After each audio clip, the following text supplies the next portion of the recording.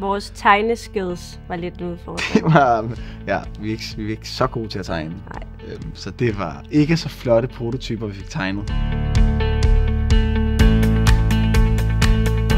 Opgaven gik ud på at finde et problem, og så lave en digital løsning til problemet, enten en website eller en applikation. Efter en brainstorm kommer vi frem til, at det problem, vi vil løse, er at hjælpe helt almindelige mennesker med at huske deres recepter. I der var ret mange piger i gruppen, som havde, havde i, hvert fald, i hvert fald det her problem med, at så vidste man ikke, hvornår ens recept blev ud.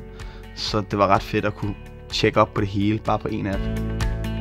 Det vi så gjorde var, at alle gik hjem og prøvede at tegne sådan helt basic i stregtegninger en prototype af den her app, vi gerne ville lave. Da vi så mødtes igen, så øh, lagde vi dem alle sammen op og kiggede, hvad er der godt ved den her, hvad er der godt ved den her, hvad er der godt ved den her, og samlede det til en. Og så startede vi så vores første brugertest, og så rettede vi de fejl, der var, øhm, og lavede en ny prototype på baggrund af det. Sværere har måske været at acceptere, at ens prototype ikke er så pæn, som den måske ville være, hvis der var nogle designere, der sad med den.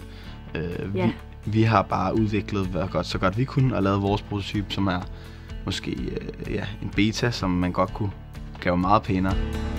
Det var faktisk ret fedt at stå med et forholdsvis færdigt produkt. For typisk, når vi laver projekter, så har vi ikke noget fysisk produkt.